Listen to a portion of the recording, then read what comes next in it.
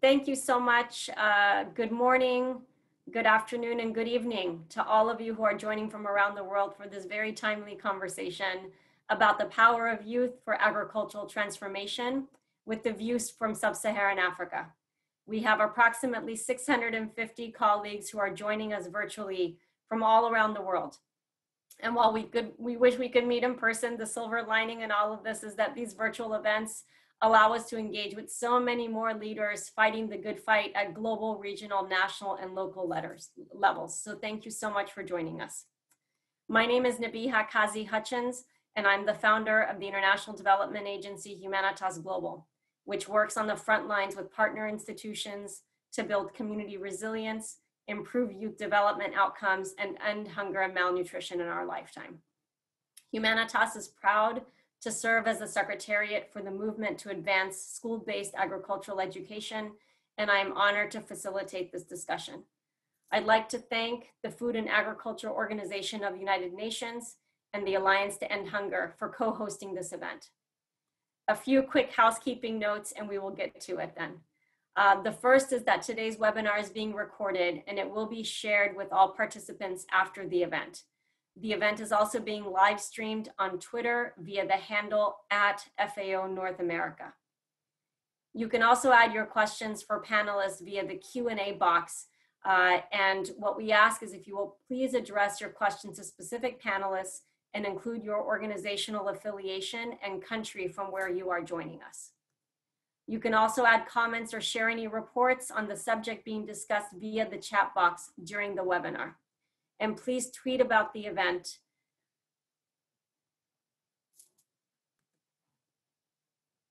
Due to uh, the time limitation, the longer bios of the participants will be shared via the chat box um, as, uh, as will be mentioned and you'll see that pop up as, as we speak. So with that, it's my pleasure to introduce Vimlendra Sharan, who's the director of the FAO North America office. Director Sharan and the entire FAO North America team have been incredible partners with so many organizations. And I personally want to extend my gratitude to Director Sharan and his team for bringing forward important topics, relevant voices that enable informed and collaborative action to feed and nourish our world. Director Sharan, I'll hand it over to you to make your opening remarks.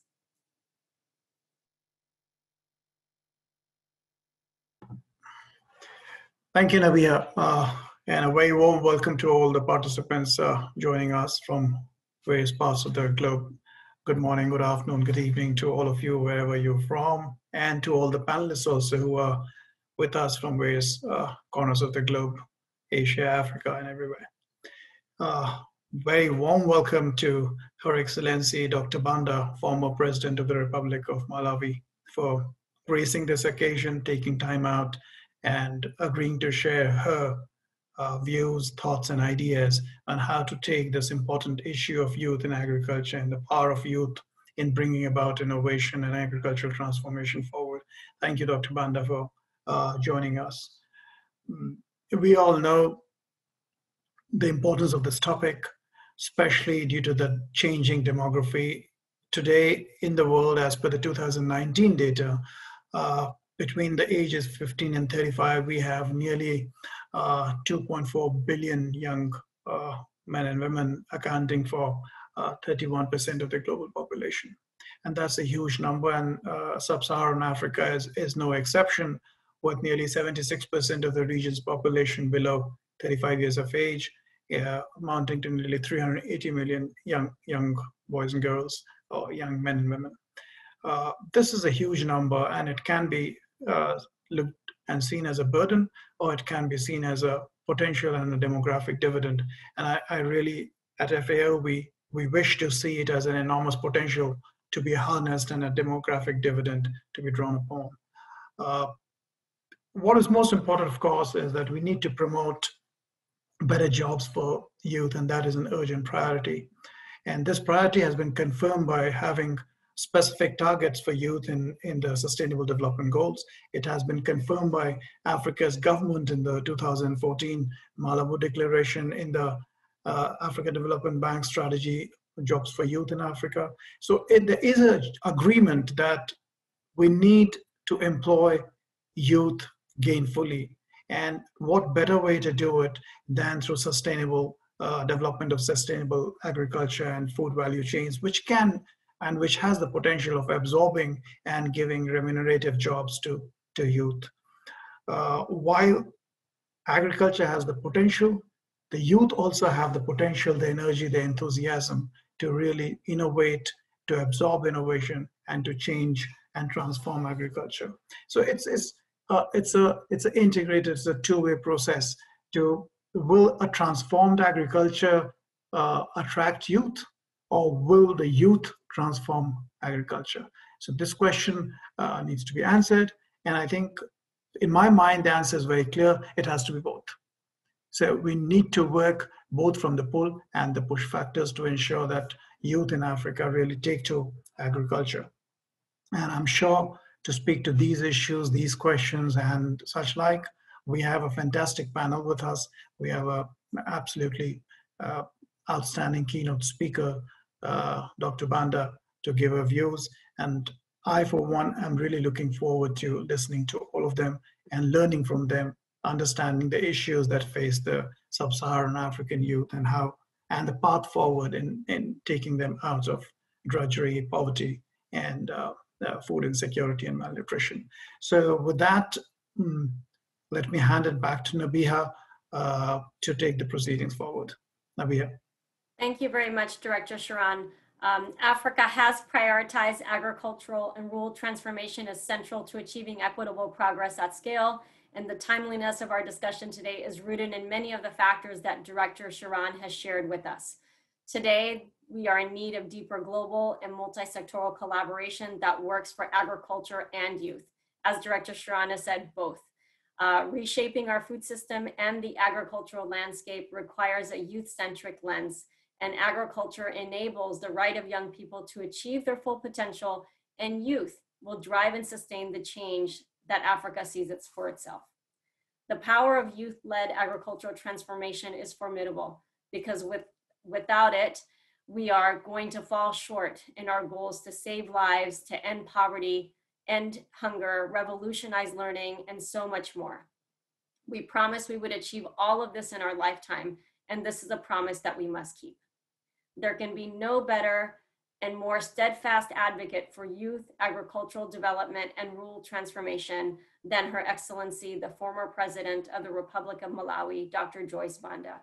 You can see her bio in the chat, but among her tremendous achievements and impact, President Banda has not only been intentional in putting youth at the center of her policy agenda as president, but has also been undeterred throughout her distinguished career in building pathways for youth to learn, thrive, achieve, and prosper throughout their lives. We are honored to have you here, Your Excellency. Thank you so much for joining us today. And with that, I will hand it over to you. Thank you very much, Nabiha, for that uh, introduction. Um, it's a privilege and honor for me to be among such a distinguished panel. I thought maybe I should start by saying every time I see Nabiha, I see her on a farm. Well, that's how she grew up. Um, and uh, again, to say that in the year 2000, I turned 50 years old. And I became very clear in my mind at that time that it was time for me to begin to step aside to ensure that the next generation takes the lead. I, I then uh, formed what I called the Young Women Leaders Network in Malawi, um, believing that in this intergenerational process, this crusade to empower young people in Africa, it will be nothing about young people without the young people taking the lead. So as I participate in this discussion this afternoon, I'm very much aware that I'm 70 years old, but I also believe that it is healthy for Africa, for us to, to, to, to work together with young people to create space. It's a moral obligation for me to make sure that the challenges we faced of having no role models, no voices for us, must not happen to the next generation. We must fight for them. And it is my duty to do that until the job is done. I'm thrilled that Humanitas Global is serving as the secretariat for the school-based agricultural education And I'm proud to lend my voice to this important work that supports Africa, Africa's development goals. I'm very grateful to the FAO, the Alliance to End Hunger, and Humanitas Global for inviting me to be part of this discussion today. I also want to thank the esteemed panelists, thank them sincerely for the perspectives they will bring, and to all attending for your time and commitment to this issue. I wish everyone good health and continued resilience in this time of COVID-19 uncertainty. May we build back together uh, and better. The topic of the role of youth in transforming agriculture is very important. Having youth at the table to shape and drive change today and into the future is not only something that is simply good to have, but rather is something that we must whether we like it or not. As I was reflecting upon this panel and what I would say for the renewed actions and commitments, I was inspired with the realization that each of you, those of you attending and the guests who are speaking, are already doing so much to bring youth forward and elevate and support them to the greatest heights. But let us recognize something. We need young people. In fact, we may need them more than they need us. It is youth who have the bold ideas. They are the effectors of change. They are who hold us accountable and ask the purest of questions to ensure justice, health, and opportunity for all. And as I talk and refer our youth in this manner, I also must eh, eh, eh, inform all that um, the youth have just changed the destiny of our country. We, we have just made history. We have removed the president who was there for a year. And they have sought justice, they have raised their voices. I have so much confidence and hope and belief in the youth of Africa that the energy they demonstrate in every sector will take us forward and prosper as a continent. We need youth in order to achieve the ambitious goals of our future. We must harness the power and talent of young people from the earliest of ages in the name of humanity, prosperity, and equity. Our time to do this is now. Our world is, as is my beloved Africa, is young. Four in 10 people, or 42% of the global population, are under the age of 25. Sub-Saharan Africa is home to almost 1 billion people. And more than 60% of Africans are under the age of 25. By 2050, it is estimated that the population of the region will likely double and half will be under the age of 18. This poses both a challenge and, a, and an opportunity. The outcome of this boom in population and the role of youth depends upon how wise we are in this moment. There's no doubt that with population growth, there will be greater strain on natural resources. The agricultural landscape and our food system. But let us remember that Africa's youth possesses something that is undeniable. The drive to achieve, innovate, and improve the outcomes of their lives and of their communities. I have spent my entire life working with youth. I have invested in youth, given authentic credence to their voice, and many policy decisions informed by the answer to the question, is it good for young people?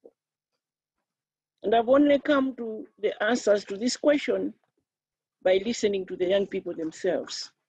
And that is what I hope we will do. Because Africa has a big, bold agenda. It has put education, agriculture, and innovation as the drivers of these development goals. I'm referring to the African Union Agenda 2063. In the driver's seat are young Africans, and we must prepare them. if we ensure education is accessible and inspiring, and that teachers are supported with training and livable uh, wages, we can transform learning outcomes. If we embed agriculture into pathways that reach youth from the early years through schools and vocational programs, students become agricultural change agents.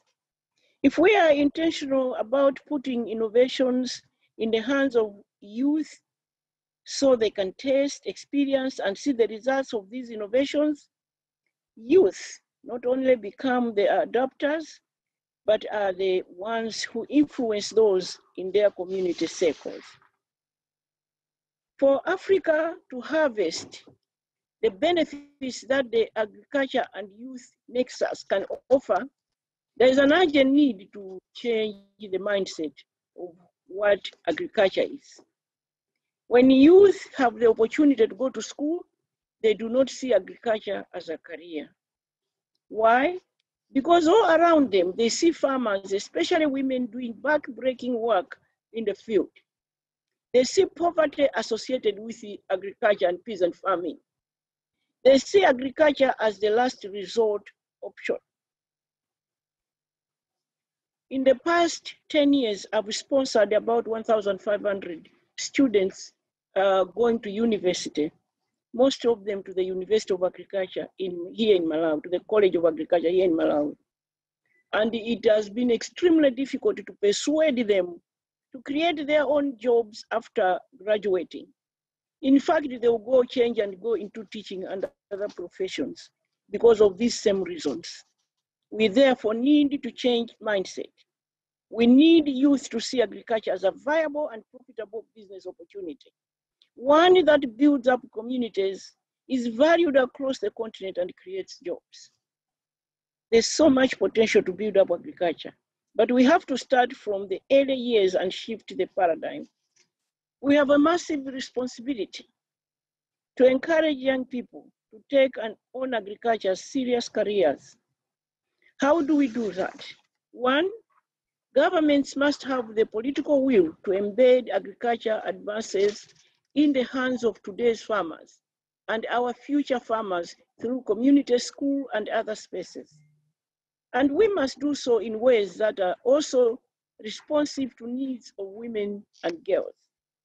Two, when I talk about women in agriculture, women and girls in agriculture, I ask the question, particularly as an African woman leader, why is it that an African woman will till the land, plant, tend the crop, harvest, store, process, cook, and then eat last and least. These are some of the things that we must discuss. And it is only young people who will change that mindset. Two, donors investing in innovations, technology, and better quality inputs also have the responsibility to invest in building youth-centered pathways for uptake. For example, we need to mainstream the mechanization of agriculture, scale access to better seeds, and improve post-harvest practices. To do that, we need young people to experience and see the impact firsthand.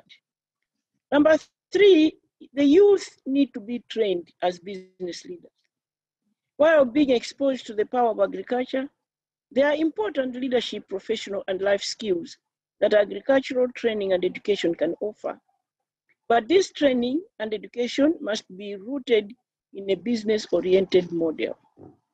And four, we must lift up the youth voice and grant them the platform they deserve, the global, regional, national, and local levels. We must embrace their power because youth have the answers. And as I've said earlier, from now onwards, there will be nothing about them without them. We have a responsibility to reach youth directly where they live and learn so that agriculture is transformed from something that is viewed as the work of the poor to something that is the pathway toward prosperity. there is one thing I know.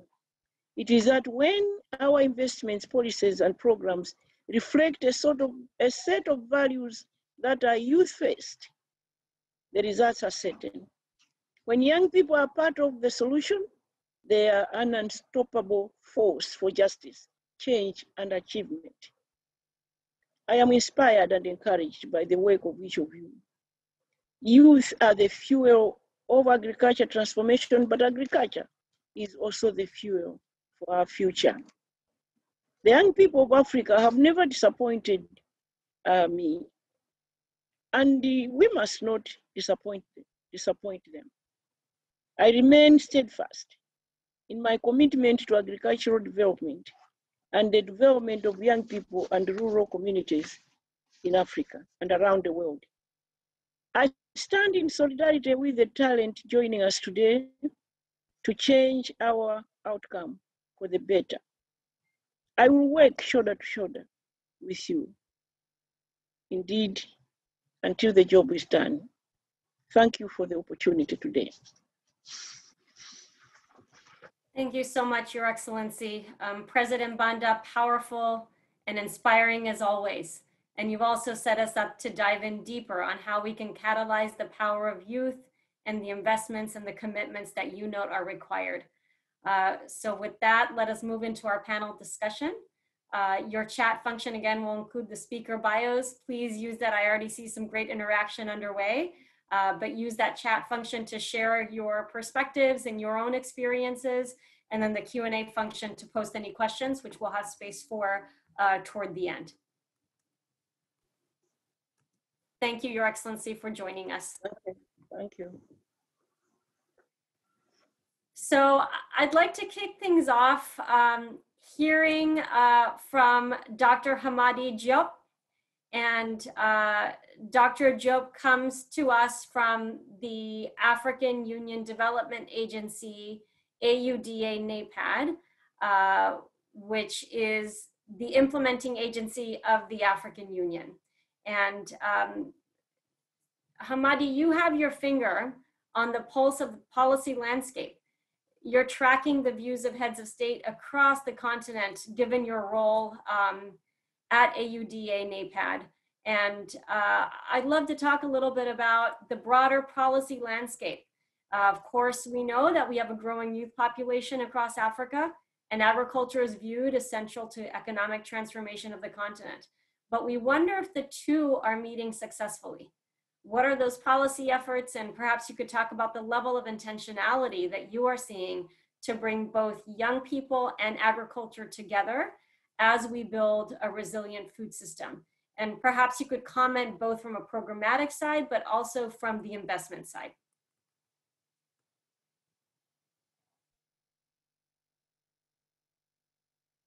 Uh, thank you, Nabiha, for uh, giving me the floor and uh, congratulations to uh, Her Excellency uh, President Banda for uh, this powerful speech that really set the scene on on what is happening in the continent vis-a-vis -vis agriculture and the youth.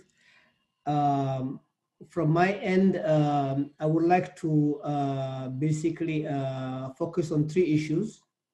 The first one would be the policy lens uh, of agriculture. What has the head of state committed to uh, and how uh, they have linked the youth uh, involvement in agriculture.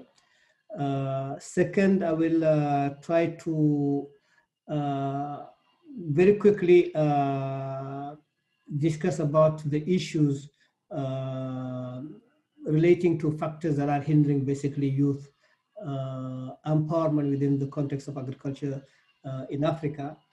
Uh, and then uh, share a few uh, facts because we also have been tracking through what we call our biennial review process the the number of youth who have been involved in different value chains in the continent uh, and just give you a few percentages to see how uh, the continent is doing uh, in terms of getting the youth to be involved in agriculture. Uh, so from the policy point of view, uh, our guiding framework uh, within Africa is what we call the Comprehensive African Agriculture Development Program, which is also referred to as CAADP. Uh, probably you may have heard about it. Uh, when the FAO head, Mr. Bimlendra spoke earlier, he referred to it as Malabo, which is also another name that we use in the continent to discuss about Malabo. So Malabo has seven commitments uh, uh, in uh, looking at how to achieve sustainable and equitable economic development, job creation, poverty reduction, and income through agriculture. through the Malabo Declaration now, there was the youth are identified as a centrality in terms of driving the agenda forward. Uh, there are three elements into uh, that policy framework that basically uh, speak to the youth. One, there is a commitment for head of state and member, member state to the African Union to establish and strengthen what they call inclusive private pu public-private partnership for at least five uh, priority agriculture community value chain. So that's the first policy uh, elements where they want to have a strong linkage with smallholder agriculture.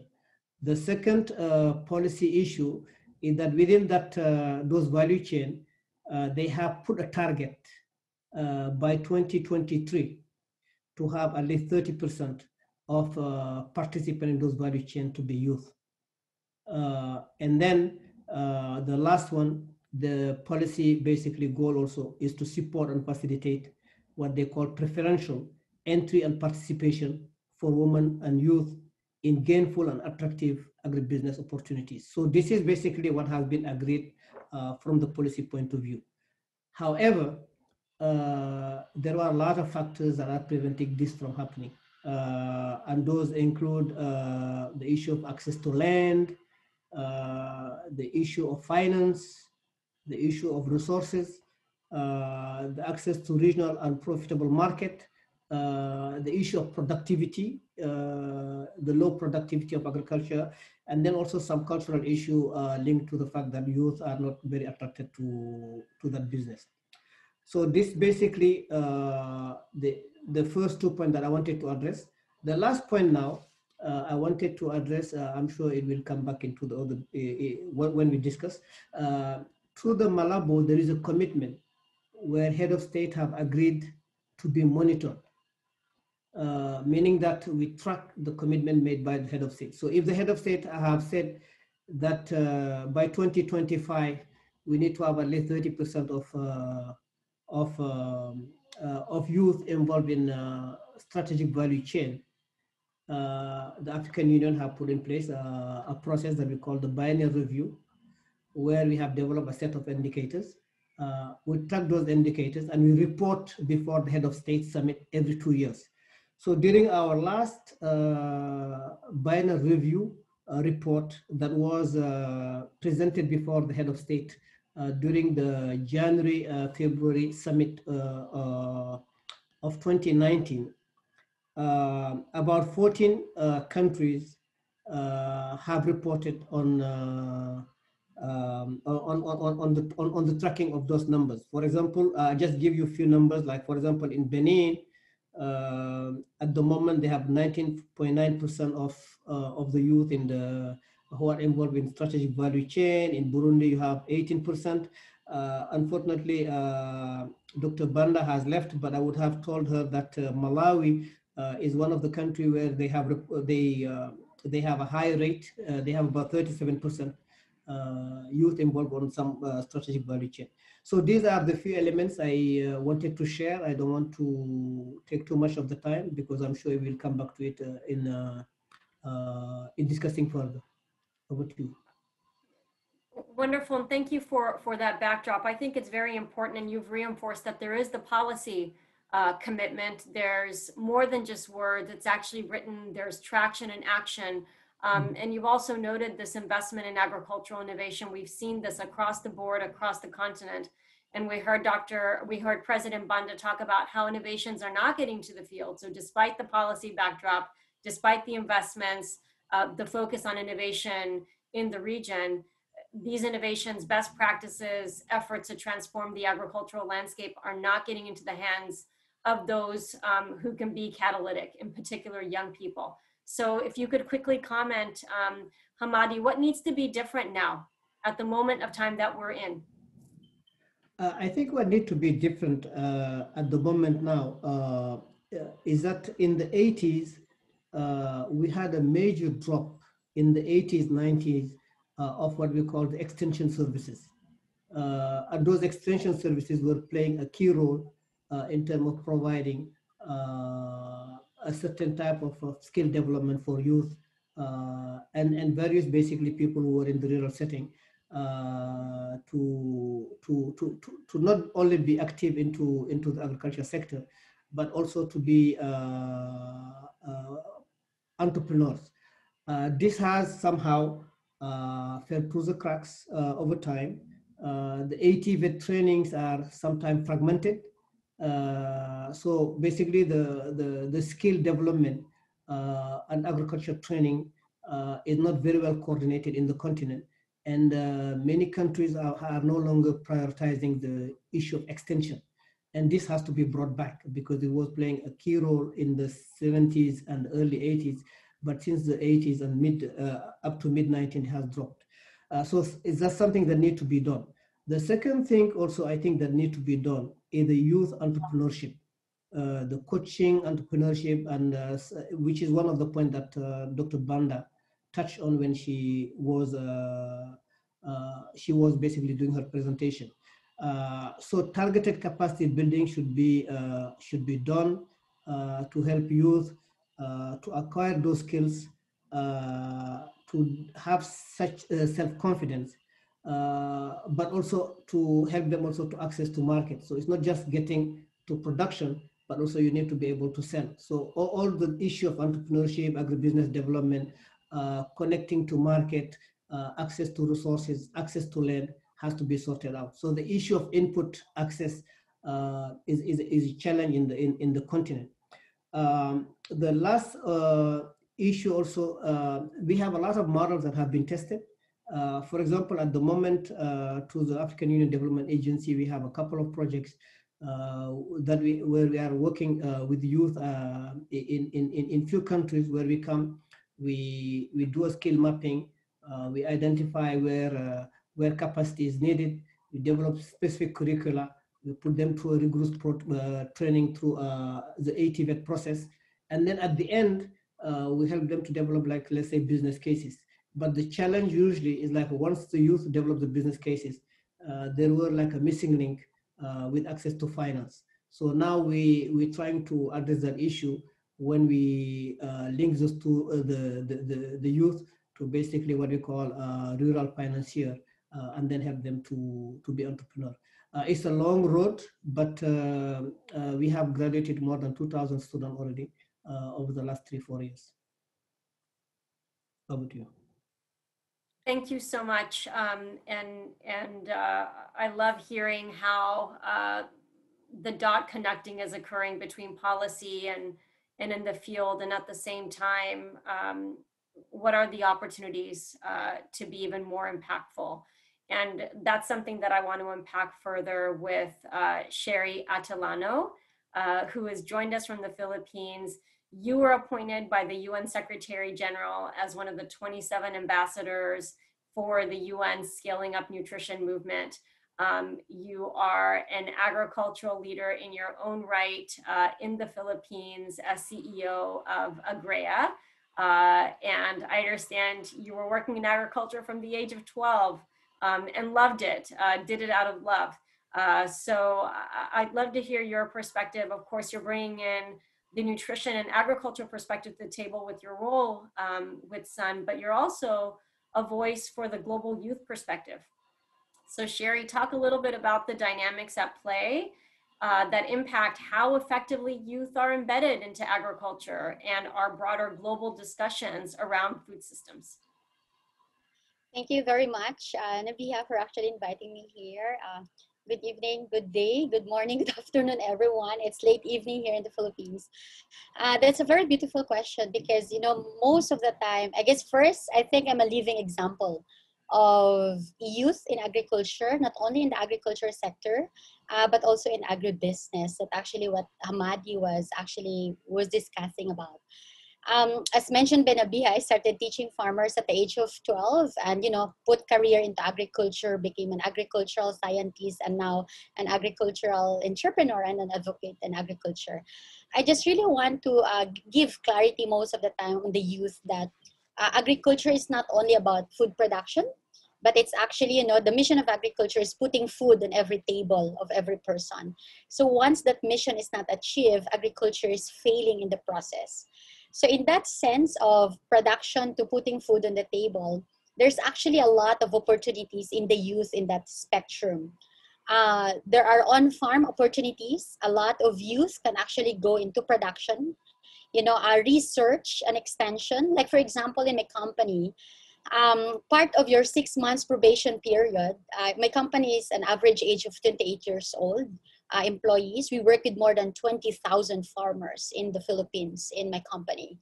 And part of the need actually to work in the agriculture sector, especially in Agrea, is to immerse yourself in the farmers because we use a lot of youth to be the extension workers in the work. And second one, um, I see a lot of contribution of the youth in sustainability and sustainable agricultural practices. Why is that so? If you work a lot with the youth now on on-farm, they're more aware about the relationship of agriculture to the environment, the relationship of healthy eating, you know, to agricultural production. And a lot of uh, youth actually see also potential on social entrepreneurship so we work a lot in the social entrepreneurship spectrum because it cut across not only in the production side, but also on value addition and also livelihood development. And on another one, I guess, on the off-farm, uh, what I see right now, especially this COVID pandemic, my company ran the largest uh, food distribution and online platform in the Philippines. Uh, we help more than 20,000 farmers to have market to the consumers. What I see is the potential of the youth to do, to do you know, ICT, information and communication through digitalizing agriculture and also in the supply chain. So I'm sharing this with you because these are practical experience. I've been experiencing running a company that during this COVID-19 pandemic, if you're 60 years old above, you are not allowed to go out of the street because of our total lockdown in Manila.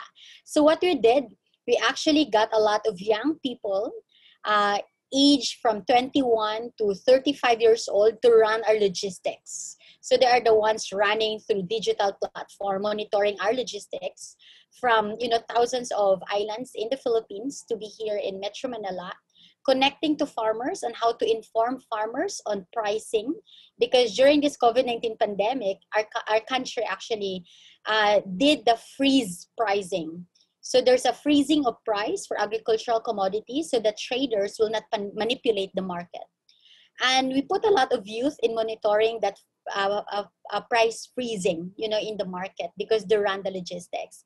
And more than that, um, during this uh, pandemic also, it's pretty imminent that most of our young people who are actually involved in our operation are very aware on promoting healthy products, sourcing local, and you know, and really focusing on even talking to local government units that the local government units will support the farmers, not only giving, you know, process food packs to, especially to the poorest of the poor or at-risk communities, but there are youth who are really frontliners and created a movement to encourage our local government units to actually use the produce of the farmers to give food packs to the poorest of the poor or at-risk communities. And lastly, um, I will actually uh, add it on the Hamady, you know, point a while ago because I'm so excited. In the Philippines, I'm the Philippine ambassador for food security. I was appointed, and one of our programs actually that got right now uh, around one billion dollar fund as an initial fund is the mentoring and agripreneurship for the youth. That each youth, uh, you know, if they have a business idea they can actually avail a zero interest loan from the government for five years, uh, amounting from $10,000 to to actually you know until $50000 uh, initial capital. But the money will not be given if the youth has no business plan if they cannot get a mentor and if they don't have a market. So we work on three m's money mentor and market so that they can avail the support of the government and another one also uh, because you know nabiha a while ago mentioned about my work in malnutrition right um, malnutrition, I guess, is a human rights issue, but it's also an economic issue. Especially right now that we need to build our human capital to be really, really strong. Uh, we took the power of a lot of young people to be movement makers on how they can change the game. That even you know restaurants would really source local. Restaurants would focus on building healthy consum- consumerisms in the market, and a lot of these youth are actually building social media campaigns on how to aggressively promote sustainable agriculture, sourcing local, supporting our smallholder farmers, and at the same time building sustainable, you know, um, system between the producers and the consumers. Excellent. It's so exciting to hear uh, of your experiences um, as an, an agricultural business leader in the Philippines, um, and also recognizing that you wear this global hat, right, with scaling up nutrition. Um, I was wondering if you can highlight one or two um, points that you've learned that you're seeing uh, with the working communities in the Philippines and how that applies to the broader youth context in Africa and beyond. I, I suspect there's some common um, some common insights that work across borders. So, you know, put on your UN hat a little bit and, and share with us what are some of those cross-cutting insights you're seeing that we need to be aware of. Oh, that's beautiful. Actually, all my best friends are located in Africa, in Angola, in, in, in South Africa, and in Kenya. And I always exchange ideas with my friends because the problems of the youth in Africa actually is somehow similar here in Southeast Asia you know we're all third world country with very limited resources with diversity of culture but with such wealth of network and wealth of access to information now and during my time, you know, at Nabiha, I was this 15 year old girl trying to enter conferences before. I would even like, I couldn't afford to pay conferences and I just like sneak and be a volunteer just to learn everything about agribusiness. And right now, you know, I've been having this opportunity and I, I mentor a lot of groups in Africa. I am mentoring one uh, organization now in Tanzania. And what I learned from my mentorship in Tanzania group, um, a lot of young people are actually wanted to create change and impact in their community. I think you know um, most of the most beautiful and the common ground is people are not looking anymore on just building a business, but they wanted to have a purpose and a meaning, and it's one common values and mindset across you know Africa and Southeast Asia. And number one, and second one is the power of collaboration and the power of access to information in a way that with the power of access to information, it's so easy to, to, to create collaboration like Asia and Africa. And what we actually learned from from uh, from uh, from Asia is actually also applicable to Africa. I remember last two months ago, I judged a competition in Sun Bis- uh, Scaling Up Nutrition uh, Network in in a in business network in Sun, and actually the applicants are from Africa, and I was like, wow a lot of these young people who are actually submitting their business proposals to Sun Business Network are actually a little bit not advanced compared to the Asian, you know, agri agri sector in terms of youth. So what I could, uh, what I shared with that one is, most of the youth in Asia are very, very um, broad in thinking and progressive because you know we're separated by seas you know we're separated by water. If you go to philippines to vietnam to indonesia you need to fly you need to cross the seas. But the most beautiful in africa you're just a massive piece of land. You know of course you need to fly to go to other uh, country in africa but it's easier with more concerted effort. And at the same time uh, there's a lot of potential in Africa, and I want to tell the, the African youth to stay in Africa. The best one is to know your roots, know your problem because most of the time we focus on just the problem but i always tell the youth but the common denominator is if we see ourselves as solutions you know if uh, a lot of youth in africa can actually figure out an innovation a movement or an enterprise they want to create it would be easier for their government to support it because that's what happened in the philippines. You know every year we do a round table discussion with the youth who are involved in agriculture, agribusiness, agricultural research and education, with the minister or the Department of Agriculture secretary, so that our secretary can actually hear us because it's so nice to be heard. And the secretary's office usually design programs on that youth. That's why now there's so much funding going to the youth in agriculture in the Philippines. And for the UN also, um, you know, my work, I, I work with 61 countries uh, with, the, with the help of the Scaling Up Nutrition Movement, and I speak on the youth. I always say that we are not only the, the future, we are the now and the present, and we need to be involved. Before it says that youth for agriculture, we need to make sure that it's youth in agriculture. We're not only involved, but we're also committed to create change in the agriculture sector as a whole. What wonderful. I, I love this point on seeing ourselves as solutions. I'm I, I know you're referring to you and your youth peers, but I think that's powerful. And and uh, Dr. Fetien Abay, you're on the front lines of, of solution finding, right? Um, I, I also want to acknowledge um, that uh, we are thrilled uh, by your uh, appointment, Madam President of the first uh, female president of Mekelle University in Ethiopia. Uh, you were the first woman plant breeder and lecturer at Mekelle University and the first female deputy chancellor of the university. Uh, so you're a trailblazer. We're thrilled to have you. And you've also overcome tremendous challenges. I'm curious if you could talk about the unique considerations for young women and girls in agriculture there is a gender dimension here and we have to call it out and i can't think of anyone better than than you to provide that perspective thank you very much. Um, i'm honored to be here today. And um, uh, yes i'm just uh, working as interim president but i used to work also as a vice president for uh, research and community services. So i mean um, there, there are a lot of burdens especially on the youth and female, uh, because, you know, there is a very uh, high negative perception in Africa about women. They are more loaded on domestic, uh, domestic uh, responsibilities. There is a very high time poverty for the females.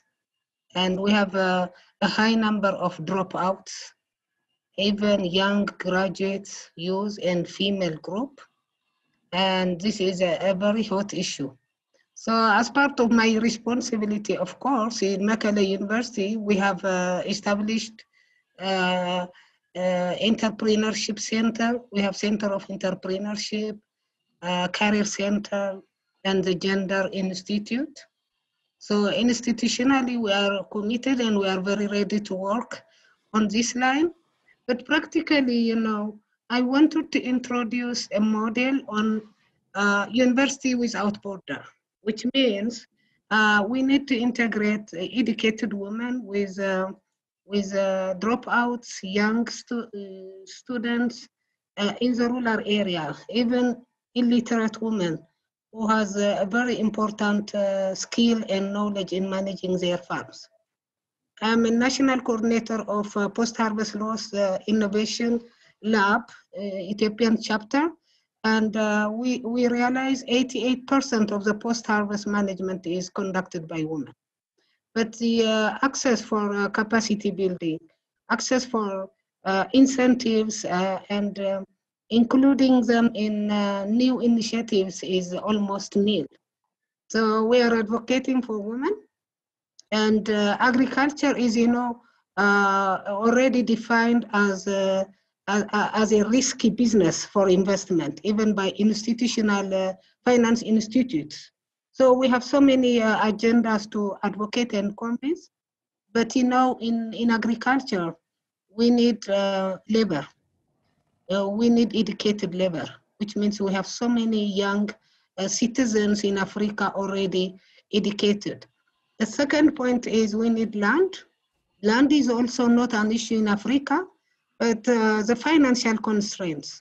I mean, the commitment by uh, African governments and even by donors to initiate uh, uh, investment uh, on land because we need to invest on land because we are operating on climate change and mountainous areas, dryland areas never been touched because most of the donors and private companies focus is on high potential areas where we have less problem.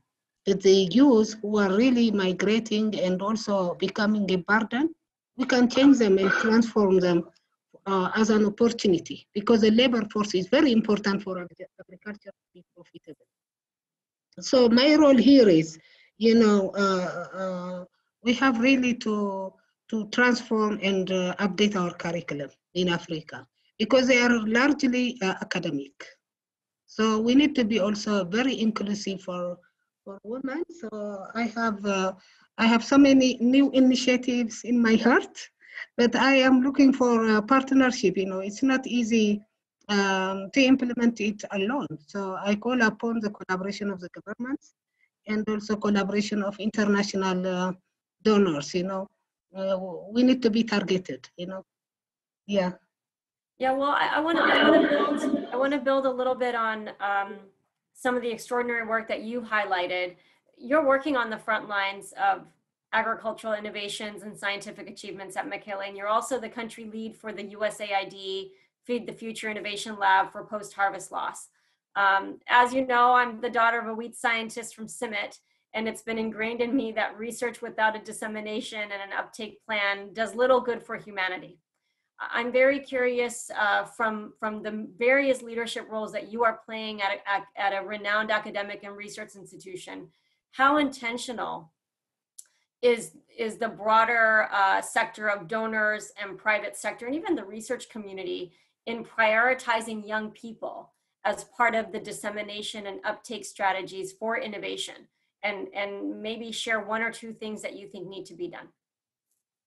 Um, there are a lot of commitments and initiatives i have observed uh, in uh, so many projects and donors and this uh, yes, the issue of use is like a cosmetics you know but um, we, we really need to have a, a, serious engagement and a continuous a continuous support. I mean, we can we can we have to be accountable for showing successes in targeting the youth group.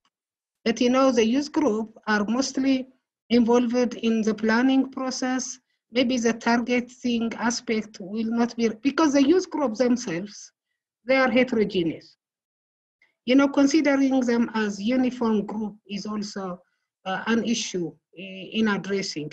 I mean, there are a lot of stresses, issues, and questions by, by the users, but um, when the donors, private companies, uh, also planning to include uh, the youth group, they need to be representative. That's what I would like to mention. Some of the private companies need also intentional incentives to include youth group because including them as employment even if they are not profitable for a short time, is a learning process. And our extension system is also uh, a top-down. We need to have, uh, uh, in Ethiopia, we have approved uh, uh, an inclusive and pluralistic uh, extension services. There is no extension services for private companies working in agriculture. This has to be really considered uh, there is also uh, a lot of commitments by respective uh, governments at the local level, but they face um, a, a, serious financial constraints. I never seen also national governments in Africa put a very clear and big agenda, the issue of use, I mean, how to address the, um, the, the, the cause of the migration instead of addressing the symptom of migration. So it has to come out as a serious strategic agenda in, uh, at a, a national level, African level, and also international level. Otherwise, it's uh, a very hot and global burden. And but we are ready to uh, to change it and transform it into opportunity through collaborative efforts and commitments. Yeah. Thank you, thank you so much. You know, this, this piece on um, including the young people and having them at the table, uh, there's tremendous work underway um, in, in so many places of the world, certainly across Africa, and bringing young people in and, and having uh, young people drive that change. And, and I'd like to turn to Trent McKnight. Uh, among your experiences and accomplishments, Trent, you're both the president, former president of the National FFA, and also founder of AgriCorps. Um, and you've been working on scaling up school-based agricultural education in Liberia and Ghana. Uh, many of our speakers, including uh, President Banda, noted the importance of being able to go to young people where they are, where they live, where they're learning, where they're thriving with their communities. Uh, and I'd like to hone in on Liberia with you, where you've been working for five years. Uh, tell us about the school-based uh, pathway to reach youth with agricultural and rural communities in Liberia. Tell us a little bit about what it entails and what makes it viable across other contexts. Yeah, thank you, Nabiha. I so I, I am a product of school-based agricultural education in the United States. Uh, I'm also a farmer. I'm a cattle rancher, so I continue to, to remain grounded in production agriculture. But all that comes from my school-based agricultural education experiences uh, in the United States. Those brands are known as the Future Farmers of America or 4-H. And so AgriCorps has taken this 100-year-old SBAE or school-based agricultural education model and adapted it uh, within a West African context. Uh, we've been working in Liberia and in Ghana. And SBAE encompasses the theoretical foundations of really four different bodies of knowledge uh, diffusion of innovations, uh, experiential learning, positive youth development, and behavioral economics. And drawing from these different uh, backgrounds and, and, and, and disciplines empowers SBAE to be a very cost effective uh, change mechanism to really accomplish a, a couple of different objectives. Uh, first is, is youth. It, it, contributes to the academic, vocational, and life skills of youth through learning by doing methods. And the second, and, and this has been touched on by several, uh, by, by, you and, and, several of the different uh, participants, to improve rural livelihoods by transferring skills and agricultural innovations into the home and community through schools. So SBA is not just about youth as beneficiaries to become future farmers for future impact. Rather, SBE is about youth as change agents for impact today. And the model, the way that works, uh, so in, in 4-H, or in, in, Liberia, we're working with 4-H Liberia. In Ghana, we're working with 4-H Ghana. Uh, and SBAE is a, is a, is a four component model. Uh, first is classroom instruction. So this is just your traditional chalk and talk in the classroom where the students learn uh, the local agriculture or science curriculum. And we're focused mainly on junior high schools. So that's kind of the, the uh, middle school. So students between 12 and 15 years of age. Uh, so classroom instruction. The second is school demonstration farm.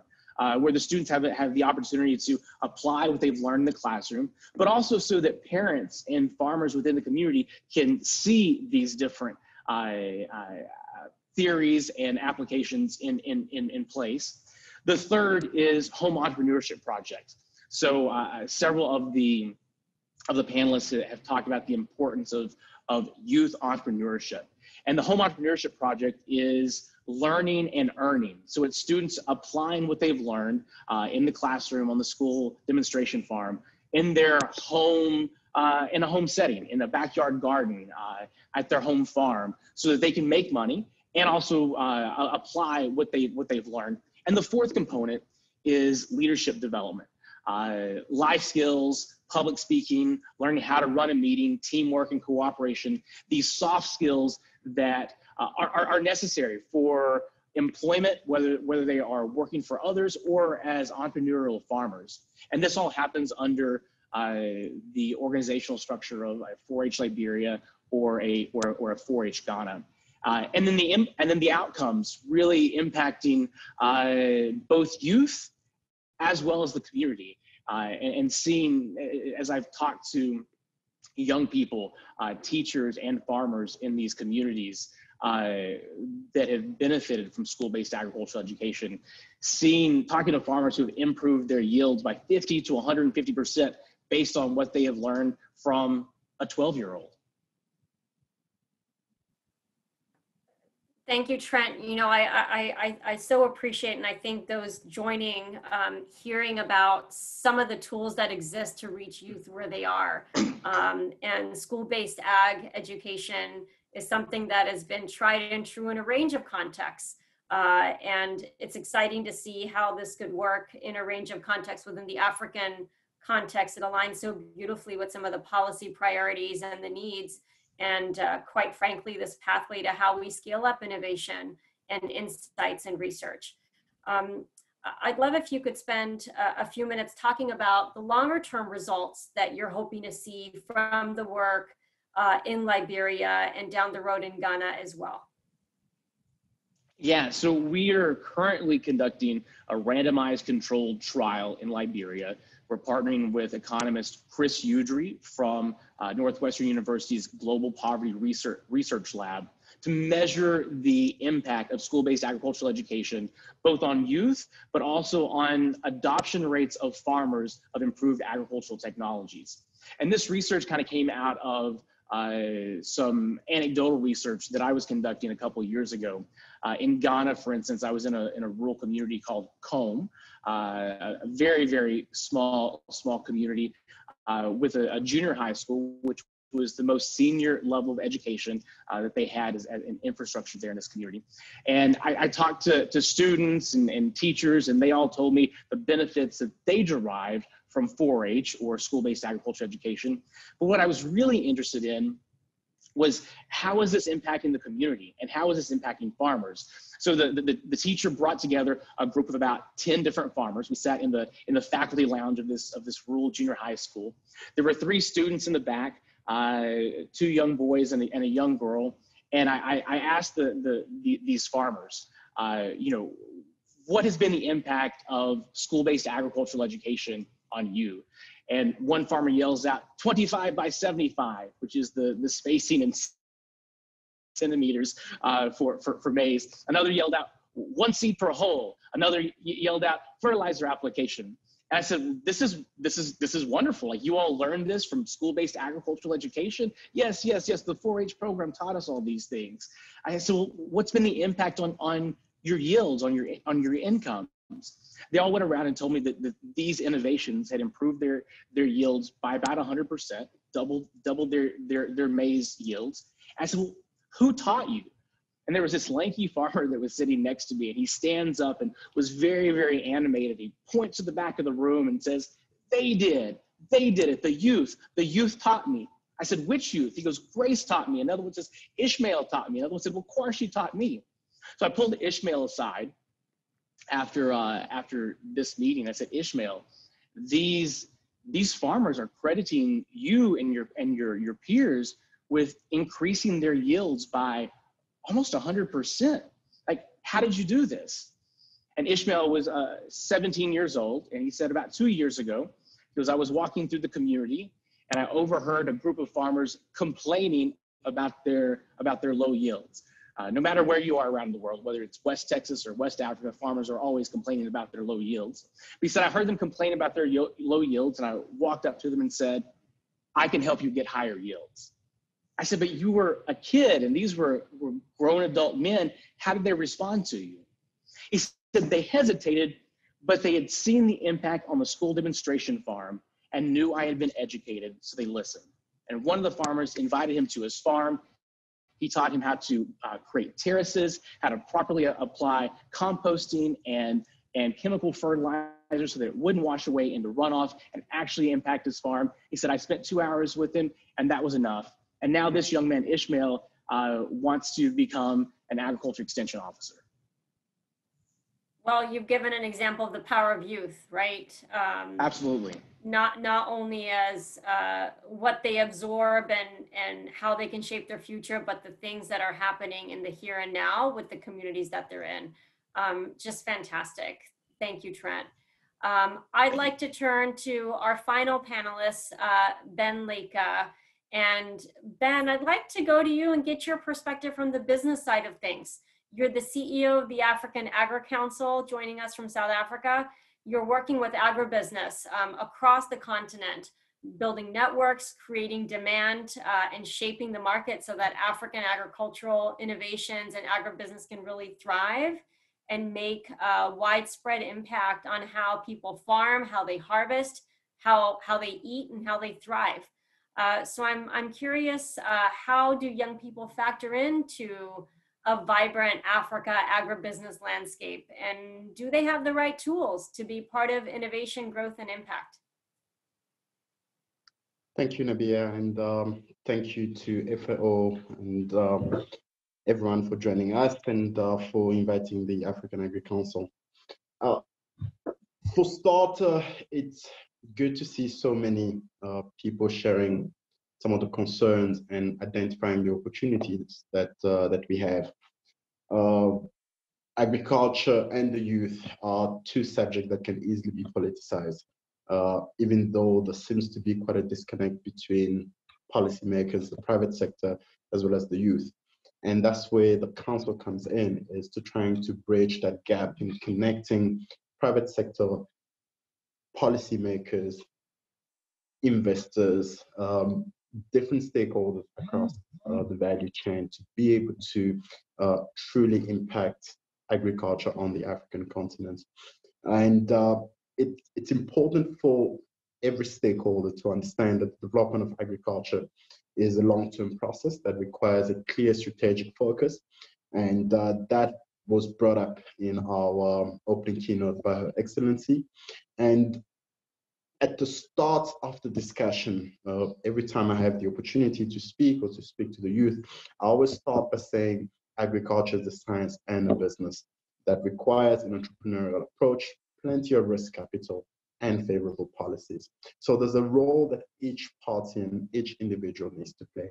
Uh, I was I was happy to hear about um, the work that NEPAD is doing, that Hamady um, graciously shared, but a little bit concerned that out of 44 countries on the continent, only 14 were able to uh, give an update in terms of the work that they're doing to involve the youth in agriculture.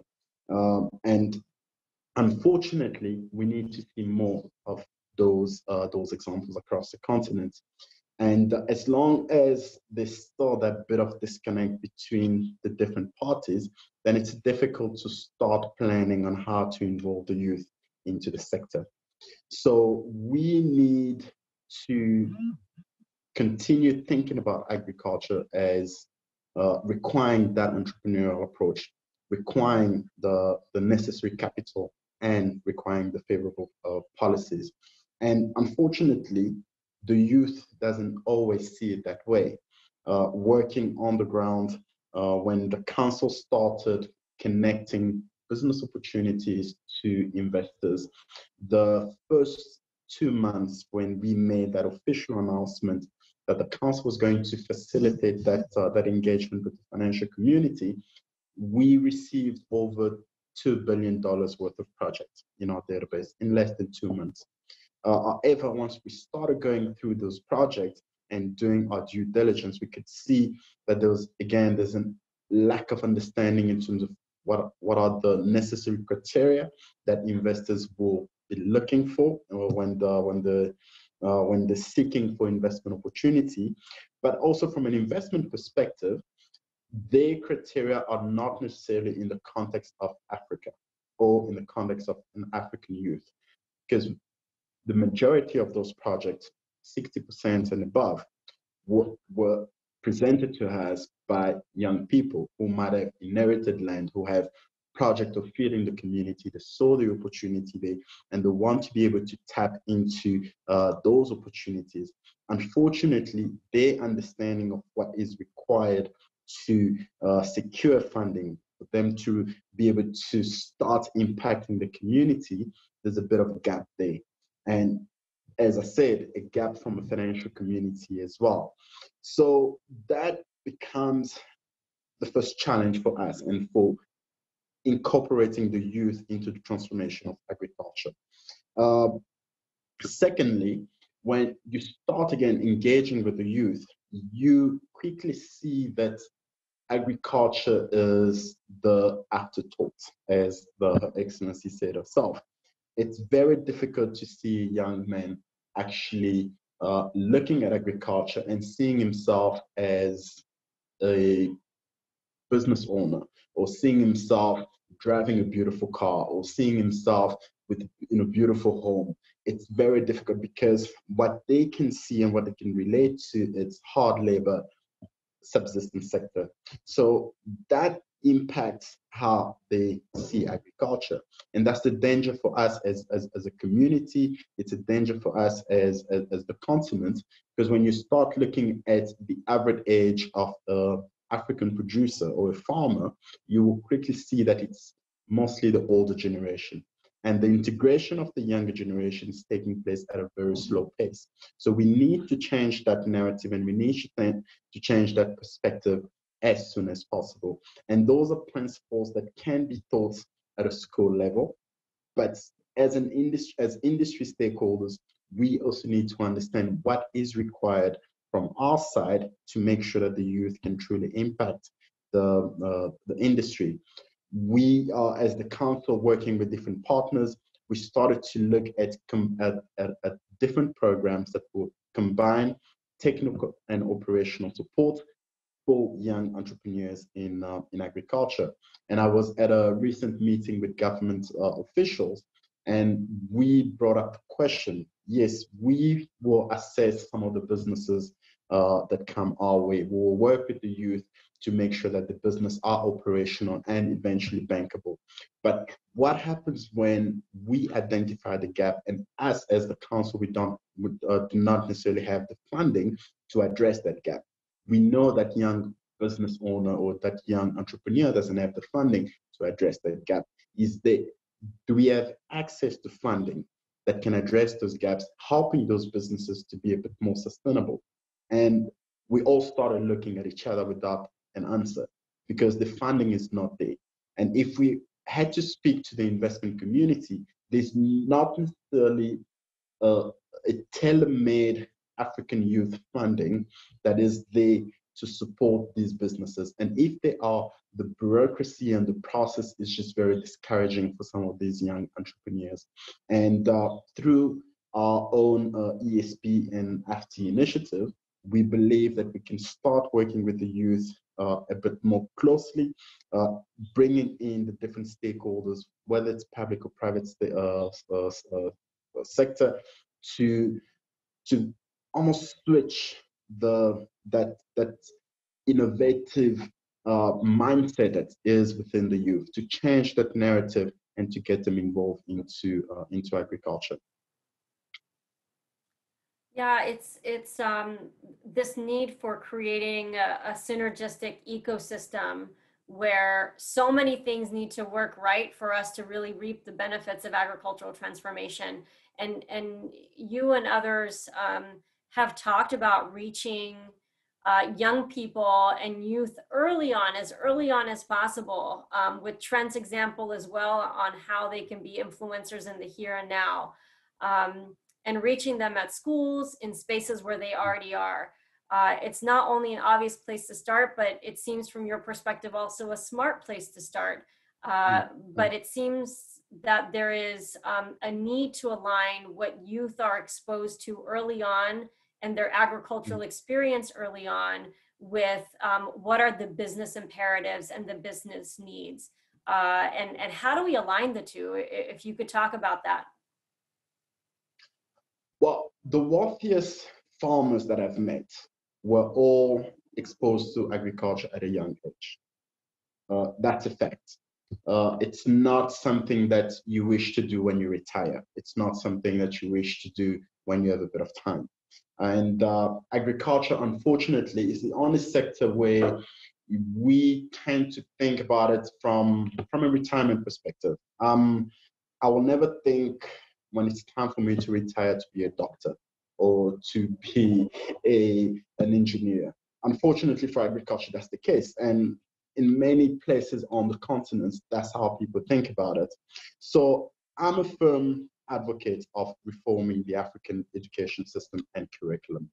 Um, it's a clear pathway for me to developing future leaders and entrepreneurs in this continent. We need to invest in the knowledge and skills that is needed for economic development and building credible and resilient institutions on the continent. That's the only way that we will develop this continent. And starting at a school level, it's the obvious place to change the narrative of how agriculture is perceived by many. Uh, we cannot, you will not attract the youth if they still link agriculture to poverty. It's very difficult to do that. And sometimes you're almost forced to invite them to very uh, big farming conferences or uh, trade shows where they can actually see farmers spend millions of dollars on equipment, where they can actually see that farming is not limited to primary agriculture or from a production perspective, as was shared by um, by the speak by previous uh, panelists, but there's an entire value chain that they can that can that, that they can work in, an, an entire value chain that's made of different subsectors where they can contribute and where they can create wealth. So to start at an at, at, at a school level, HOPS has changed that narrative uh, in terms of their perception, but also incorporate that business mentality into the agricultural um, into the agricultural training. So it's we, as, as I said, it's a science, so you need to know how to farm. You need to understand the, the sector and the industry, but it's also a business. That means you need to understand the business fundamentals for you to become a success, for you to run a multinational business that just produces food for people, that provide uh, service across the value chain, that's in logistics or technology or whatever the case may be. And you see a lot of, and, and I've seen a lot of experts uh, really focusing on the digital aspect of agriculture and only looking at that as the key, the focal point of attracting the youth. We need to look at the entire value chain, and there's a role that our education system needs to play in facilitating that bridge. Thank you, Ben. Um, so much, uh, so much there, so much opportunity and so much need. And, and I know we'll get it right. Um, we have no choice. We've, we've got some wonderful questions from the floor. Uh, unfortunately, we don't have time for all of them, uh, but we'll lift up a few. Uh, the first, um, perhaps uh, Trent and, and Ben, you could comment on this as well. Um, but Trent, starting with you, uh, educators are vital in guiding youth in their learning and integration into the agricultural system.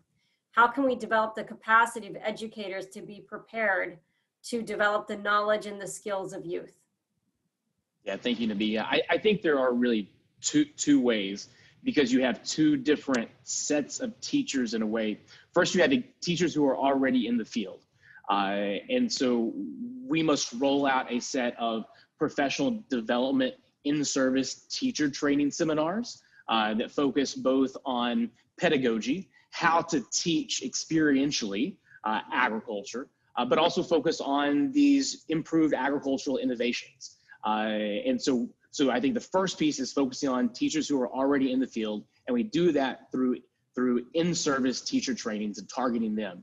And then second is, about future teachers and preparing uh, future teachers and improving uh, higher education, teacher training, training colleges uh, to be able to prepare uh, agriculture and, and integrated science teachers to use the school-based agricultural education model, to use this experiential learning pedagogy to better teach agriculture in uh, junior high, senior high school uh, settings. Excellent. Uh, Fetien and Ben, would you, uh, each of you like to weigh in? Perhaps we can go to you, Fetien, first um, on this question.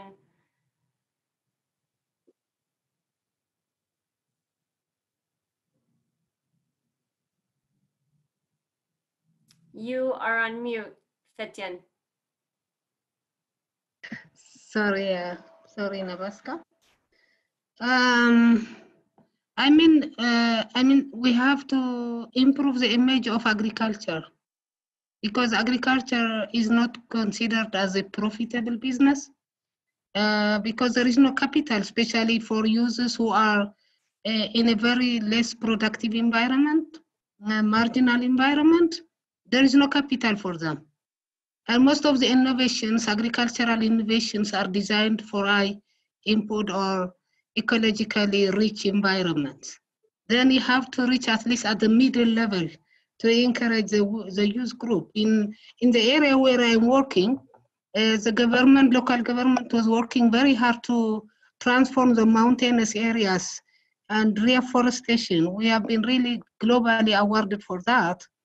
But now there is no focus and there is no uh, investment. There is no also targeting those uh, uh, uh youth groups to be engaged on that.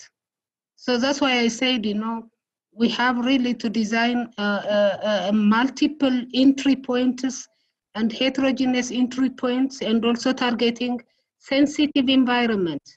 Sensitive environments in a war zone area, a climatically affected area, less advanced, advantageous groups, you know.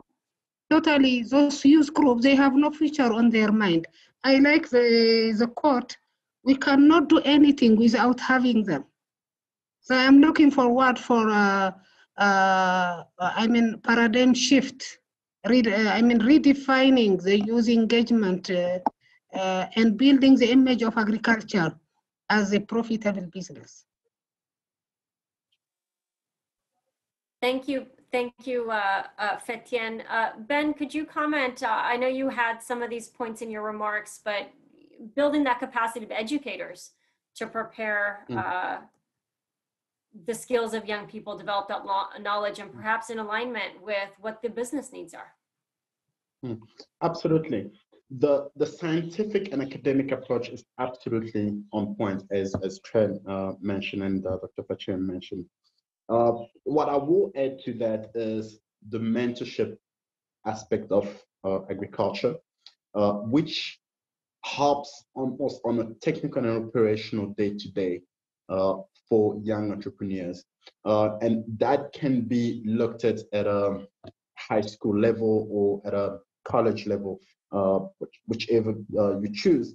However, the mentorship prospect is very important, and that's something that we've added to the FT initiative, where we know there's a the majority of startups and businesses they tend to fail in the first year unless they have the right supports and mentorship to help them through that difficult journey. We went through that ourselves. We were fortunate enough to have people to support us through that journey. Uh, secondly, is to bring people who actually have done, have run the business of agriculture. And you bring those successful uh, entrepreneurs or businesses to showcase to the young people and young future entrepreneurs that you can actually be a success in this in this um, uh, in this field not just to talk to them but almost create a, a, a project or a plan that will support these businesses where they can have first-hand advice and support from someone who's run the business, might be retired or is still working, but still is committed to uh, seeing young entrepreneurs coming up, still committed to seeing Africa move forward, have those kind of uh, figures to be involved into the discussion. You're bringing the private sector on board. You're bringing someone who's very successful who will help change the narrative and the picture of what agriculture is. Once you can add that to the academic and scientific um, uh, approach, then you almost have that perfect picture. I think the only uh, point that we'll be missing is that policy element, where we know now that we're seeing across the continent, there's a bit of a, an awareness an empowerment movement that's coming up with the youth starting to think about politics and how that impacts their life. That will only come once they start seeing that, look, for me to be successful, for me to run a successful business on the continent, I need favorable policies. And I have the power to impact those policies. Let's combine that and we will see positive results. Great. Our, our second question, uh, I'm going to direct this one to Hamady and also to Cherrie from, from the perspective of Hamady looking at it from the supply side and, and Cherrie, perhaps from your perspective on what are the needs um, in order for, for, uh, for you to be successful uh, in agriculture. And so the question is, how do we ensure that youth get access to the required resources to perform agriculture? Um, given the fact that youth are less likely to access capital, they're less likely to be in a position to access innovations that are aimed at high productive areas, and so on and so forth. Uh, so uh, perhaps Cherrie, you could you could speak first about what is needed. What do young people not have access to? And then Hamady jump in with um, what is the policy imperative and, and what's happening across the continent to improve the situation. Oh, actually, no, it was like a common topic mentioned that uh, access to finance is actually the problem in, in the youth sector. So if they actually have a great idea, but they don't have, you know, uh, finance and uh, financial support to that, it will not happen. But more than that, a lot of young people, they don't have experience. So there must be like a role model example of a successful agribusiness who could mentor them and show them the way so that if this youth will you know uh, there, there's a management of of risk right on the capital also supported to them. Like for example me i started my company when i was 20 so i was 20 years old. I'm already running an agribusiness company and it's not easy. Agriculture is not for the faint heart. It's so difficult to get investments because it's risky. I live in a country where war is happening in the south of philippines every year. Uh, we have 20 to 21 typhoons every year and market is so um, political politically driven you know. But i think first is for the youth to have that kind of grit and tenacity that if they want to go into agriculture money will not make sense if the values and attitude of the youth is actually not geared toward building it into agribusiness and second one, um, you know, changing the narrative of agriculture, right? Because agriculture is always associated to poverty and drudgery. I'm known to this, Nabiha, of making farming sexy. You know, glamorizing farming. When people would see dirt in soil, I see gold. Because I'll never dedicate 22 years of my life building business in agriculture and running businesses not only in the Philippines. You know, uh, I, I do an impact fund uh, based in Singapore, and we're in actually investing in different countries in Southeast Asia. And common problem I encounter: a lot of young people they have good idea, but they don't have mentor. They don't have uh, money. If they have the mentor and the money, they don't know how to access market because market sometimes is also controlled by big institutional market. So you need to really know how to play the game in agribusiness. And the third one, I guess, is more educational component on the youth in agriculture. I like actually the comment of Trent tonight. Uh, my company started the first farm school in the Philippines that is actually accredited by the government. So now my farm school is running programs for the youth. We have uh, having three farm schools now in different areas in the Philippines. And these farm schools are actually working hand in hand with the government. So the government is funding our farm school. And I'm so happy to say that since we started the farm school, more than 50% of our enrollees are young people who were told by their parents who were farmers, please don't go into agriculture. Study hard and leave the farm because this should not be your future. And here we are, our farm school is encouraging a lot of these young people to stay in the farm and take over the their parents' land and make it more profitable. You know, and another one, of course, uh, a lot of young people are interested in research and development. They like new innovation because, uh, like for example, a new innovation in agriculture, mechanization, digitizing agriculture is something that actually makes the youth uh, have greater access to the agriculture sector, makes the youth to actually help change the narrative in agriculture. So all of this I'm trying to incorporate in my company on how, you know, we can bring a lot of millennial even to be uh, employed in the agriculture sector, but more than that, start their own you know enterprises so that they can give you know livelihood and sustainable opportunities in the rural areas.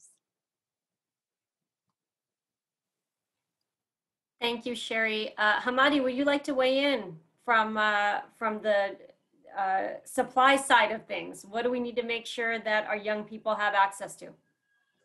I think uh, thank you, Nabia. I think uh, on my end, um, I will just use two illustrations uh, on how uh, this can be done. Um, I have seen some questions uh, to the, the chat function on how to bring youth into uh, into agriculture, what are the perception of youth on agriculture, uh, why in some countries, I, I, think there is someone from Ghana who said there is a disconnect uh, between the policies and uh, uh and the youth uh, implication in uh, in different platform and, and how they can access to to different inputs and the like. So I'll just give like a two examples. The first one is the process will be on the process, and the second one will be on on actions. So from the process point of view, uh, in the implementation of the uh, CAADP, which is the Malabo uh, commitment that I mentioned earlier um, the way it operated that at the beginning, uh, the African Union support countries develop strategies that are aligned to the continental frameworks. Uh, but the process is very, very inclusive. Uh, then once the strategy is developed, it is translated into what we call uh, a national agriculture investment plan. I'm sure if you Google it, you will see what we call NIPES. Uh, and uh, at the moment, we have about 47 countries out of the 55 African Union member states that have gone through the process and have endorsed basically the CAADP process and have developed basically strategies that are CAADP uh, compliant.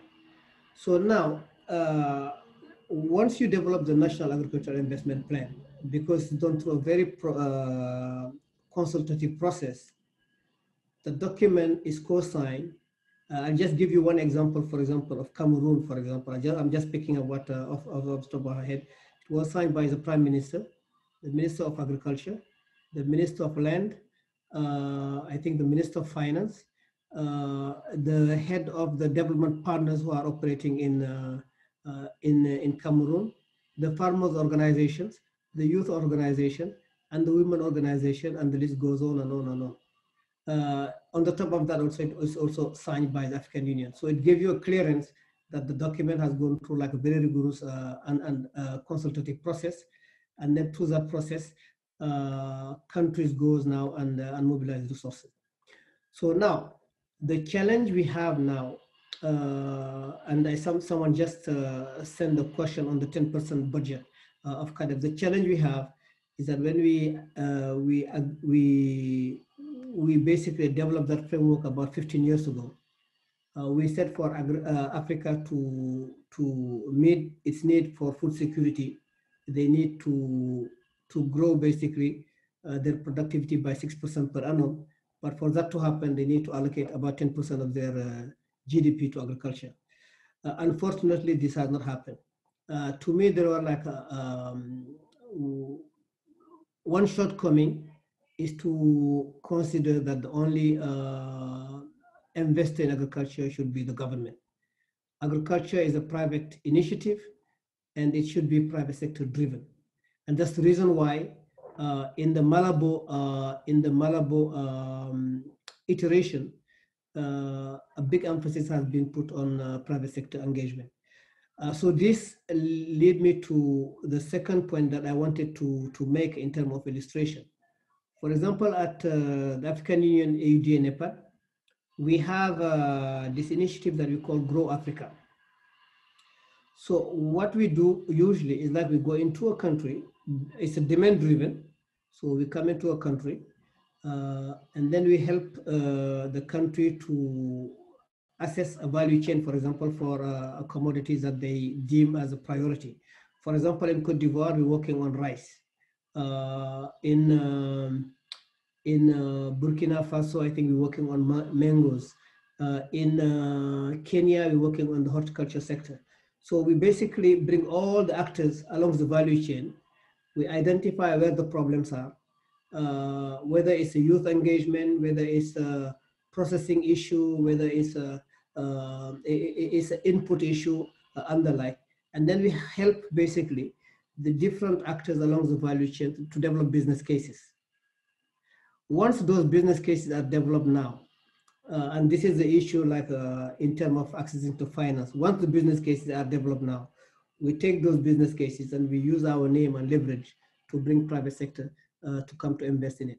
Uh, we have already uh, made a matchmaking between private sector and, and, and, and, different cases in, I think, 12 countries in the tune of more than 200 million dollars over the last three, three years.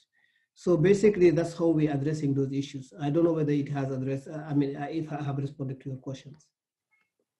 Uh, y- y- yes, you, you have. Does anyone uh, else want to weigh in on, uh, on this question of, of meeting the needs of youth?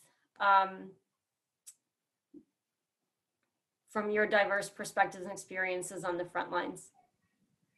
I would just add one thing, Yeah. Nabeeha, uh, that I that I've mentioned several times in the comments. Uh, but there's a lot of talk about making you know agriculture sexy for youth and attracting youth to agriculture. What I've found in both Ghana and Liberia is that young people in these rural communities are already interested in agriculture. Uh, rather, it's outside forces who are shaming them about being in agriculture. So rather than, than thinking about how do we attract them to agriculture, it's rather about giving them permission to be in agriculture because it's something that they already want to be, just like their parents. They just don't want to use the same methods that their parents use. They need they need improved methods, improved innovations, so they can make more money. But they already have a, a predisposition to want to be in agriculture if we give them permission and the skills to do so. Correct. Well, Uh, Can I speak? Yeah, Neviska? yes, uh, g- Yeah. go, go right ahead. Yeah, I would like also, you know, uh, there are a lot of opportunities in Africa uh, considering youth, you know.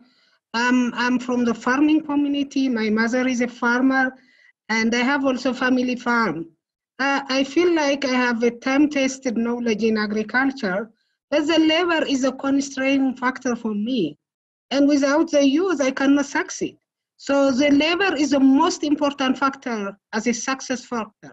So what we are talking now is, you know, Africa is a very diverse uh, continent with full of opportunity, full of uh, health uh, contribution because of the diverse ecology we have, the diverse knowledge we have, the diverse food systems we have, and the technologies and the skills at the local level will be a source of inspiration for the scientists and also the business group. So we have really to cater the issue of youth group. And we, as a learning institute, we need to be also recognize our contribution. We have committed agricultural cadres ready to implement the new, I mean, the new shift that we need to uh, revise our curriculum. Because, you know, in most of African countries, including my country, uh, it, it's more academic. So vocationalizing education is a, mo- a most important step. Establishing sta- advisory group uh, for mentoring youth group is also uh, very important. I'm looking forward for such kind of innovative ideas uh, and showing success stories is already in our hand. But what we need is we need to work together for addressing and uh, stabilizing Africa, and the workforce has to be stabilized also. So the social responsibility of all uh, decision makers, uh, scientists, experts, and also, you know, we are at, uh, we have a contribution as a leaders, but the social stability, social fabric is very important for uh, stable business and uh, entrepreneurship. Thank you.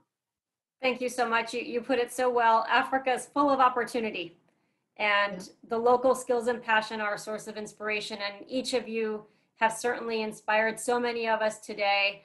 Um, I want to thank all of our panelists, uh, Her Excellency President Banda, my colleagues at FAO, the Alliance to End Hunger, and at Humanitas who worked so hard to put this together. Um, there is such rich, rich insight shared today, and I'm, I'm really inspired and encouraged because we have the tools, systems, and vision to enable youth-led ag transformation in Africa and around the world. The key is how we align policy, design programs, and make the wisest of investments to propel this urgent work forward. It's been a, a pleasure to participate and moderate this conversation today, and I'd like to hand it over to Director Sharan for his closing remarks.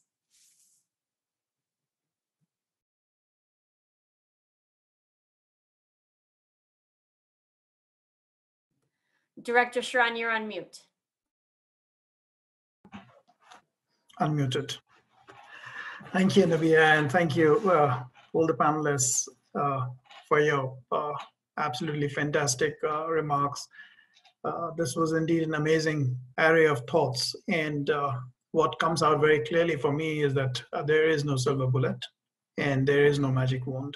It's a, a rough and tough uh, journey ahead, but we all need to uh, pull together all our resources to ensure that this important aspect of integrating youth uh, in agriculture, of bringing the power, the enthusiasm, and the energy into agriculture is, is absolutely essential if we want to move on the journey uh, of uh, ensuring global food and nutrition for everyone. Uh, just a couple of uh, things. I, I, don't think I'll, I'll uh, try and really uh, capture everything which everyone said because the chat box is full of comments and I'm sure the audience is really, participants have really taken to the, the views being expressed because I can see uh, nearly a parallel webinar going on in the chat box. And that's really, really, really encouraging. So uh, I'll only say that a couple of things really stood out, you know, youth for youth. And there's nothing about them without them. I think uh, Her Excellency made a fantastic opening statement with that, that you cannot work on youth ideas without really integrating and involving them in the decision-making process. And that really set the tone for the discussion today uh, youth as solutions. We heard the need for exposure, training, giving them a voice, embracing their power. Uh, uh, you know, understanding that they are the ones who need to come into the main uh, uh, decision-making positions to take this forward.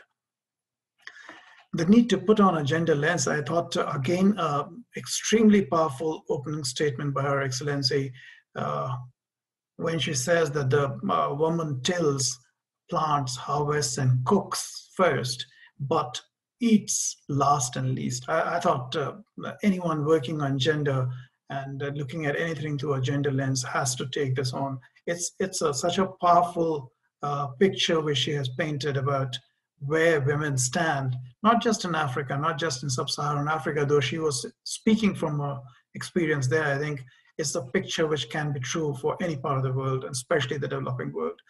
Uh, it's important to understand, uh, I think, the need for de-risking agriculture.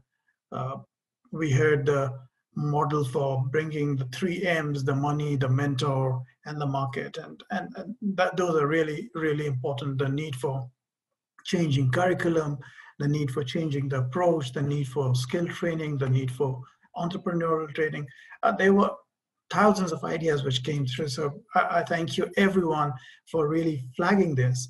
And uh, on our part, on FAO's part, uh, we have been pretty active in sub-Saharan Africa uh, on our work in youth and agriculture transformation. We have currently over, I think, over 20 dedicated projects going on uh, in Africa, many of them through partner organizations. Uh, we are partnering with uh, UNIDO on opportunities for youth in Africa and there are programs running there on rural youth employment, green jobs and agripreneurship, skill development, farmer school. Uh, the programmatic focus, of course, is on knowledge generation, which is our uh, bread and butter.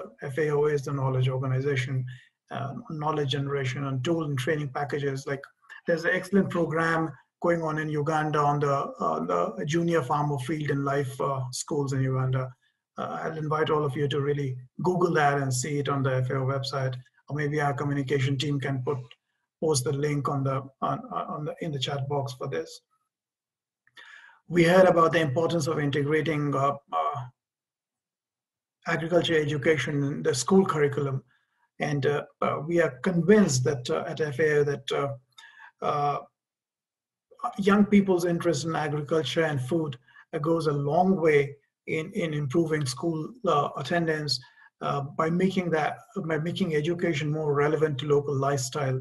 And uh, we have lesser number of dropouts. We have decreased child labor if proper education is provided on agriculture issues school. So um, i'm sure you all share uh, this belief that inclusive transformation of rural economies and agri-food systems cannot come about unless you have uh, the youth fully engaged in it and uh, I need, I think we need to really empower them in their role to achieve a sustainable and uh, equitable world. Uh, if anything, COVID-19 has really shown us how inequitable our growth patterns are. how inequitable our economies are, and how youth and women are really uh, inter-marginalized in the group which really needs to be looked into and supported and brought into the mainstream. I think our discussions today in its own small way will help take these messages to policymakers around the world and uh, help them, help the youth, and ensure that we, you know, usher in perhaps a youth revolution uh, for a sustainable and uh, remunerative agriculture. So uh, thank you all of you for joining and thank you to all the participants uh, who tuned in from various parts of the world. It has definitely been one of the most uh, engaging group of participants, I must say. Uh, as, I, as I mentioned, I nearly felt that there was a parallel webinar going on in the chat box. So thank you very much, all of you. And uh, back to you, Nabeeha. And thank you, Nabeeha, for uh, fantastic moderation uh, uh, and uh, for posing some difficult and probing questions to our eminent panelists. And that really brought out the essence of their talk and their ideas. So thank you very much. Thank you to Alliance for co-hosting this with us, to Humanitas, your organization for co-hosting this with us. Thank you, all of you. Nabeeha. Thank you very much. Uh, we'll be sharing the recording uh, tomorrow and uh, appreciate everyone's insights and of course for hosting. Have a great rest of the day and evening um, and good health to all. Thank you and bye-bye.